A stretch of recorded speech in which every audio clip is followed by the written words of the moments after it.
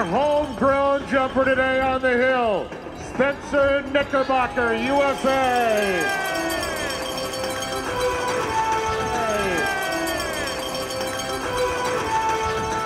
So Spencer Knickerbocker. Okay, here's our hometown He's a hill. He's a Nordic favorite. skier who grew up in Brattleboro. Also, Spencer dedicating his jumps and his competition today to his grandmother who passed last month. Mary Whoop. Gladys. Yeah. Uh, here we have He had a Spencer's getting ready now. And here comes Spencer now down the hill. Let's go, Spencer. And he skis out of the Oh, he's holding it. He's holding it. Oh, little short. Little short. And a little drift, a little short. Over to the left hand tell him to side, hold to take off the hill for him. Uh, just his first jump. 73.0 meters for Spencer Knickerbocker. Next up, another fine jumper. Number Yay, Spencer! the Ski Educational Foundation. It's Andrew Bliss. This guy has been a big hill jumper.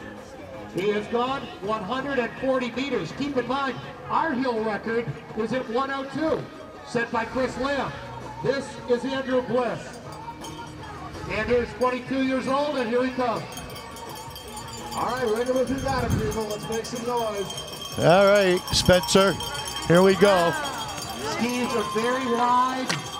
What'd you, you what'd you think of the first there. jump? Uh, you The looked like you were uh, of your two skis. s- swerving over to the right. Yeah, the track is uh, kind of rough right now because it's warm weather, so uh, wasn't really expecting it to be so difficult to ski, so I need to just adjust a little bit for the competition. So.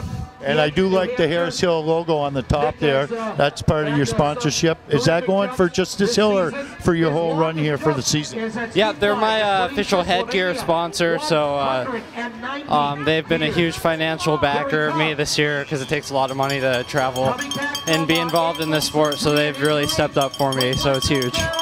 Hey, hey, thanks an awful lot, Spencer. Good luck, and uh, I know you're doing this for your grandmother. Um, so uh, you know we hope for the best, and uh, I'm glad to still see you here at the hill. And I wish you all the luck in the future. Very much. Have a great day. Give it up for him. Give it up for him. He's done good effort here, Harris Hill. Yeah, really nice. And, you know, uh, two weeks ago he was 28. Off that-